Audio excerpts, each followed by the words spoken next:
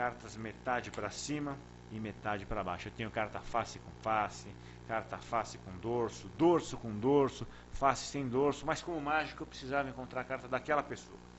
Para isso eu esquentei as mãos. Pronto, e a carta que você escolheu foi um 3 de espadas. Nossa, amazing. O macacotes. Uhul! Você está sem microfones. Temos. Não, esse é, esse é bom, é ok. Tá bom. Serve, serve. Fazer a hora do merchan. Justo. Que a garganta seca. O... Esse daí, qual que é teu número favorito? Qual- não de cartas, ou pode ser de cartas, mas tem uma mágica favorita assim que você fala, meu, isso é muito bacana. E plus. Qual que é a mágica que você acha muito bacana e que você executa? Então, eu curto muito, eu curto muito mágica com corda. Eu acho que a- a- eu fico fascinado quando eu vejo mágica com corda. São poucos os mágicos que fazem mágica com corda. Eu vi na Argentina o ano retrasado, foi o ano retrasado que a gente foi para lá. Acho que foi. O agora eu não vou lembrar o nome dele. Também um mágico espanhol que ele fazia miséria. Gaberubis. E pior que eu tenho um livro dele, eu não vou lembrar o nome dele Você agora. comprou as co- a, nota de conferência? né? Comprei. E é show de bola. Ele pegava a corda, mudava de cor, nó mudava de cor. Délio também faz isso. Então eu curto muito. Eu trouxe até a primeira mágica com corda que eu fiz. Agora, Não, agora não. Só mostrar aqui, ó. Uma Tá corda. armado, tá armado. eu curto muito mágica com corda. Eu gosto. E gosto do Zaniel, gosto bastante do Ricardo Arada. São mágicos que chamam até Vic Fabrini. Aquela coisa não falada. Não falada. É uma coisa mais show mesmo. 10 minutos, mas que você fica encantado. Juan Tamariz, que Que faz você assistiu. assistir. Ele faz miséria com baralho. Um baralho só. E num teatro. E num teatro. Para 500, 600 pessoas, um baralho. E o cara lá da última fileira, ele acredita que você viu a carta. Então, fazer mágica com carta em palco, ah, não dá, porque as pessoas. É mito, mito, mito. Vai estudar teatro. Estude Tamariz. Tamariz é legal. É legal, é legal. Fica o recado para estudar Tamariz, os cinco pontos. Cinco Pontos é um dos livros que ele tem, tem lá Via Mágica e por aí vai, tem bastante coisa. Para quem curte baralho, ele tem o, a Mnemônica, que ensina a fazer mágica, milagres com, com baralho. Eu não tenho ideia de como faz, sei só o processo, mas nunca estudei. Mnemônica são dois livros. O Gubi faz bem Mnemônica, o Tubino, O Gubi vem também no programa. Tubino manda bem também na Mnemônica. Então tem bastante coisa. O mágico francês que eu curto, o Gaetan Blum, que é um cara xarope, que tem milhares de ideias, ele todo dia está criando cinco, seis mágicas, então é um gênio. Então ganhou o prêmio de mágico mais criativo do mundo, você ter noção. Não precisa falar mais nada. Então são essas pessoas que eu admiro. Quem sabe um dia cheguemos lá. É, né? Então Quem tá. sabe, quem sabe. Bora estudar. Bora estudar. Inclusive, mímica. Também. Depois que eu vi a importância que se dá uma observação a, a- o- os caras assim não querendo menosprezar o artista Michael Jackson, mas os caras dançavam igual Michael Jackson. Na verdade, a imitação deles era perfeita. Ma- E eles não são dançarinos, eles são mímicos. Né? O Jerome, se eu não me engano, ele começou imitando Michael Jackson, o que faz a estátua. É, e eu tive a oportunidade de ser o tradutor, o bad translator deles, né? Que é aquele cara que fica prestando atenção. Tem... Fala. Não, vou falar, só estou escutando. Só, só se E eu fui o tradutor das entrevistas deles lá no Guarujá. Então, ia à televisão e, ah, podemos fazer uma entrevista? Podemos fazer uma entrevista. Então, você pode traduzir para mim? Posso. E ele falou que a estátua, ah, ele conhece muitos artistas que fazem espetáculos que, falando da estátua viva, que vão para a rua não, agora não só da Estátua Viva, né? Ele conhece muitos artistas que fazem espetáculos que vão para a rua apresentar, porque é uma experiência diferente. Diferente, exatamente. Ele falou que a melhor escola que ele teve para estátua foi na rua. É, a minha escola de close-up é bar. Eu comecei fazendo bar, eh, trabalhava das 10 às 2 da manhã, um trabalho escravo, Você, mas você pega num bar, você pega de tudo. Pega o cara chato, pega o cara bêbado, pega a tia que te chaveca, pega o tio que te chaveca, pega a mulher do cara que te chaveca, pega o marido da mulher que te chaveca, o cara que quer pegar o baralho e não quer devolver. Então você aprende a lidar com todas as situações. Então, para quem quer fazer mágica, começar, eu aconselho trabalhar na rua, vai fazer mágica e não para de fazer mágica, bar, rua, amigo, escola, de preferência com pessoas chatas que você pega todos os macetes. E aí feito isso, não tem quem te segure. É, eu fui contratado uma vez para consertar, não, ele não era mágico, mas ele estava se enroscando porque ele começava a fazer mágica. E aí o pessoal ficava, ah, tá guerra, não sei o que, e ele começou a se perder porque ele preparava um negócio, aí ele virava, por exemplo, pegava a carta, puxava de lado, aí a pessoa, puxa a cara de lado, puxa a cara de lado, eu não conseguia fazer mágica. E aí eu, eu fui consertar isso. Como é que eu consertei? Era assim, não pega o baralho na mão. Falaram para mim, o homem não quer nada com baralho. Ele quer coisa com pombo e com coelho, e eu não trabalho com pombo e coelho que eu fiz? Eu comecei com mágicas, vamos dizer assim, grandes, fáceis de visualizar, fui diminuindo, diminuindo, diminuindo. Posso fazer uma mágica com baralho? Tá, pode. Fiz uma mágica com baralho. Ele virou e falou assim: gostei. Faz mais uma. Faz mais uma. Resultado, eu passei três dias de evento com baralho na mão, praticamente, cara. É, tudo experiência, não, não tem como. Tanto, pra, tanto, tanto pra palco também. Você vai fazer, tem que fazer show na, na festa do Preminha, da casa da tia. Se mete a fazer show e pega tudo que é experiência. E além de treinar mágica com plateia. Sim. Treinar no espelho é uma coisa, em casa, mas com plateia tudo muda. A piada não entra. a hora que você acha que vai aplaudir, as pessoas não aplaudem. Você conta aquela piada que você acha sensacional, você passou 10 anos estudando, achou o um momento, você coloca a piada.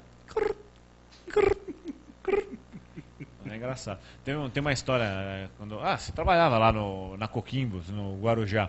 Trabalhei o na Coquimbos. O dono da Coquimbos queria que a gente fizesse festa para a filha dele, para o filho, não lembro, de 15 anos. E ele falou: Meu, vai ser lá, vocês vão lá. A gente trabalhava na pizzaria. Eram três pizzarias, eu, ele e o Fabiano. Meu, termina, é. termina a pizzaria, vocês vão lá. A gente para a festa e vocês fazem meia horinha de salão. Ah, meia horinha de salão, tranquilo, cada um faz 10 minutinhos e tá tudo em casa. Tá, mas como que é a festa? Não, vai estar tá bombando. Aí eu paro a música, vocês fazem. Aí eu falei, tá, as pessoas vão olhar pra gente e vão falar.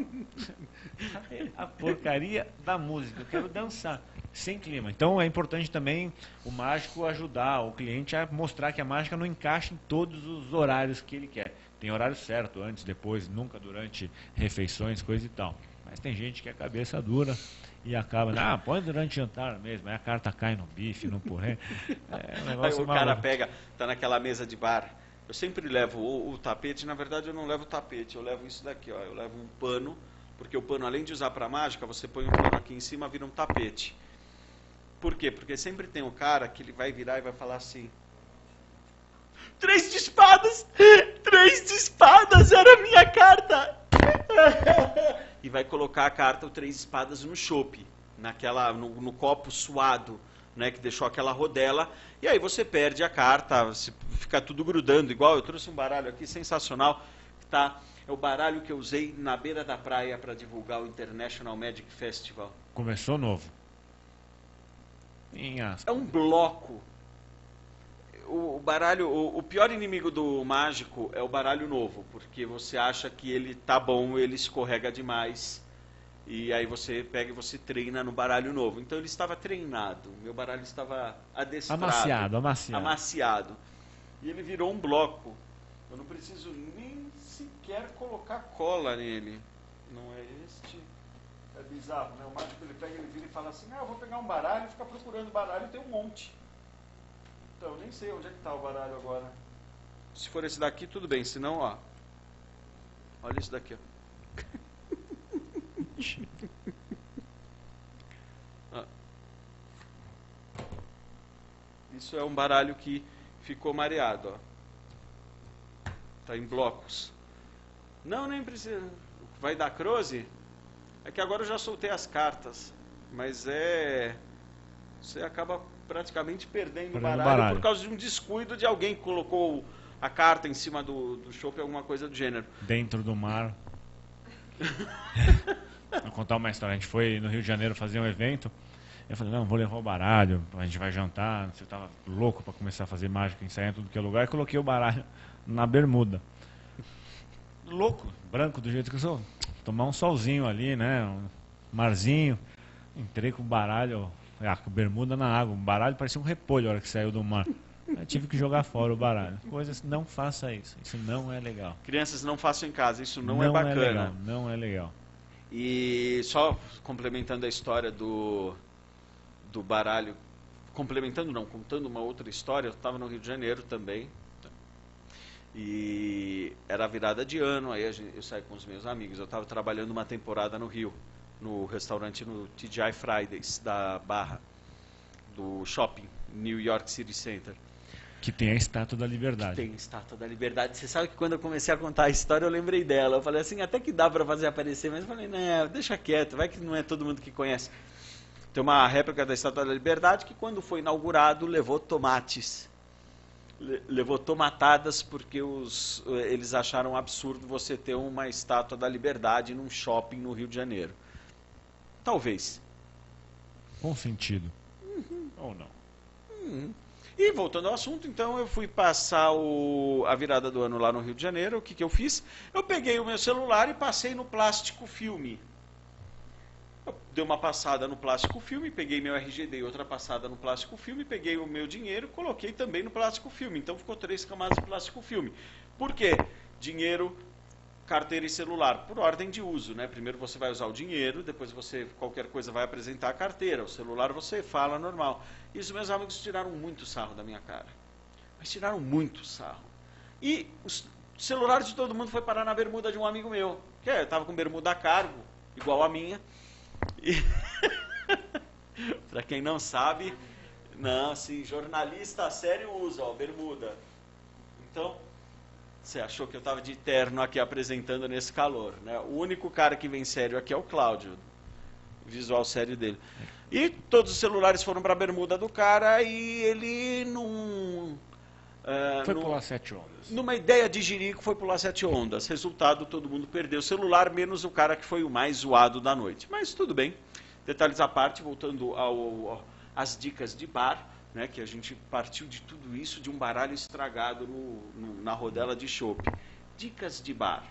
Se tem alguma coisa que você possa passar que seja assim, você fala assim, ó. Dicas para pegar um bar ou dicas para apresentações? Ou os dois? Os dois. Então, dicas para apresentações. De preferência, procure um bar que você conheça, dono, garçom, faça mágica e ofereça o serviço. Eu Tem gente que acha que não vale a pena trabalhar de graça, Depende do bar, eu acho que vale a pena sim. Se ele tiver uma carteira de clientes que te interessa, você pode trabalhar ali de graça e pegar vários shows que compense a sua estada. Então, um bar que você conheça, que tenha público bom, um público-alvo que você queira atingir, e ofereça mágica e seja feliz. E de apresentações, seja o mais educado possível e nunca, nunca pegue a mulher do cara que está bêbado.